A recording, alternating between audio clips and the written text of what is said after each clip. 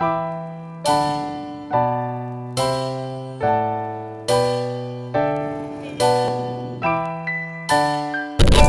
up peeps and pirates and welcome to this video on the Thakhek loop. This is kind of an information video on how to do the loop thingy, what to do and what to see, but it's also a little story about our experience there and something we saw that disturbed us and no one really is talking about. The Thakhek loop is one of the loops you can do in Laos with a motorbike or motor scooter. It is pretty much in the center of Laos. The most important thing you need for the Thakhek loop is a bike. You can also go by bicycle. We saw a few people do that, but it seems to be a challenge. Uphill, downhill, and all this stuff. I have a lot of respect for that, but I wouldn't do it. What most of the people do is what we did. They're renting a motor scooter or a motorbike. Normally, we are always looking for a cheap deal. In this case, we did not. The whole loop is about 500 kilometers. I don't know how many miles this is, I'll just pop it in here.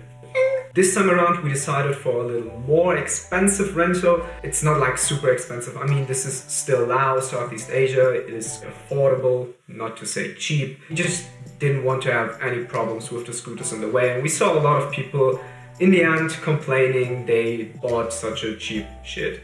The roads of the loop, on the other hand, are fine. As long as you stay on the main roads, there are not too many gravel roads, it's all concrete, it's cool. There still is kind of a reason why people tell you to drive carefully, and that is pretty much because in the end, everyone will tell you, I was driving carefully. We heard about a lot of people and saw a lot of people that fell from the motor scooter, off the motor scooter, and it's just Usually you don't have to watch out too much for the locals, but you have to watch out your fellow travelers and there are also potholes on the road and sometimes there are gravel roads so you should just try to take care of you, yourself, your surroundings and the fellow tourists around you. One thing you should maybe take care of are the bridges. There are, well, they're actually easy to cross, they're just dodgy looking. The best way is to just somehow get on the bridge and then just drive. Don't think too much about it, you'll work out. Just take a little extra care. You can complete the loop within two to four days and you can do it pretty much three ways. The first way is to start in Thakhek, go west and then further north until you reach the main cave, the Kong Lor cave, and you go back the same way. That's the nicest route, the most scenic, the most enjoyable one, but it will probably take you the longest. The second option is what we did. After the Kong Lor cave, we head further east, back down south. And the third option, which doesn't make too much sense in my opinion, is that you start in Thakhek, directly go east, and then to the Kong Lor cave and go back the same day. If you're really close on time and you don't feel like enjoying the loop, you can do that. I wouldn't advise that because the loop is lovely. You should take your time.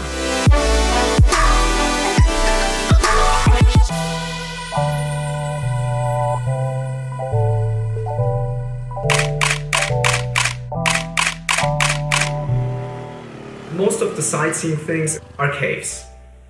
And when it's about caves, I'm not much of a fan.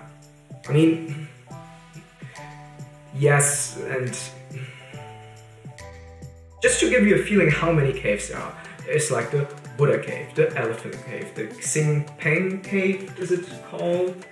The Pasuwan cave, Xiang Lip cave, Tampa Nai In An cave, Tam Nang En cave. We are not too much of binge watching, binge visiting, binge experiencing, however you want to call that, tourists, so we rather pick single experiences and do that, for instance, the Dragon Cave. Yeah.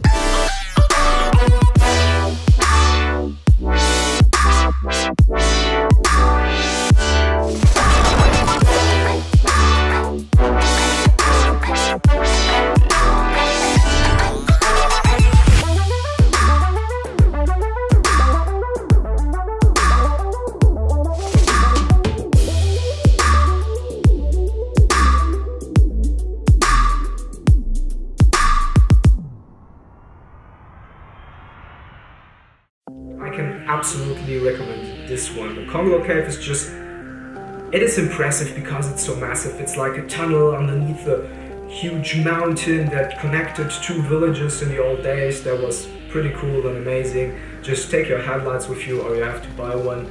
um, ours went out just a moment we entered the boat. That was that was was a bummer.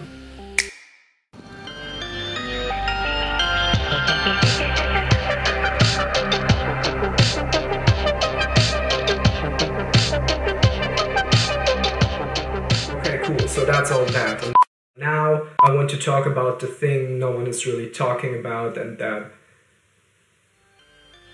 you may have already seen it in some parts of the B-roll. We didn't think too much about it in the beginning. Then on our way to the first stay, it just got more and more of those trees and it kind of became a natural environment, just seeing all those poles sticking out of the waters we even watched the sunset full with those around.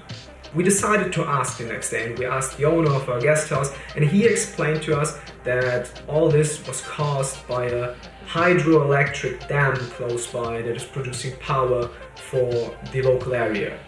That, by the way, sounds absolutely cool and sustainable and all that and I mean um, they're producing power for an area we heard before a few years ago didn't have too much electricity and definitely no Wi-Fi by the time we visited the Thakhek Loop you had everything there but the dam just dams up water and it starts flooding the area and dams in general are influencing the natural flow of water and I don't want to get too much into detail, but it just basically means that if you build a dam, you will most probably, not most probably, for sure, influence the life around the water. And that does not only occur to animals and plants, but also to humans, to local people living close to the water. By the way, I had to educate myself in this. I didn't know that dams are causing a lot of problems to the natural environment. I mean, there are people going so far as saying that dams are built to fail. For me, it is really difficult to make up an opinion about that. It's that even if you read about it on blogs or articles, there's not so much about it. People are just get somehow amazed by those dead trees kind of thinking about them as natural part of, of the attraction of, of the sightseeing, whatever you want to call it. But it is not natural to see that trees around. I just imagine your home would look like this. You would go out the door and it is full of those dead stumpy poles. It is somehow disturbing for me. I don't, I don't know. It, it still makes me think. And the reaction of most people makes me think, even our reaction, because we just took it as it were. I'm just asking myself, is that us? Those people, generations, simply accepting everything without questioning, even if it disturbs us. Admiring or appreciating things, maybe because we don't know in what other way to react. But maybe because we're not interested and just missing out a lot of those facts. But on the other hand, I'm also asking, do we always need to fight against something that's influencing the natural environment or are we just too stubborn to accept that maybe we need to change, maybe we need to adapt? The answer to all that is I don't know. I'm not smart enough to come up with an alternative or a solution.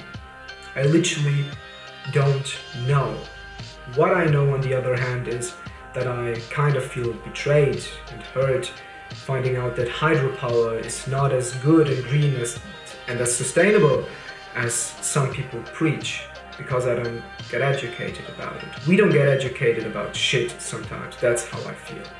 And I want to know about these things and one thing I also know is that I want to see more of them and shed some light on it to understand more and judge less. Thanks for listening.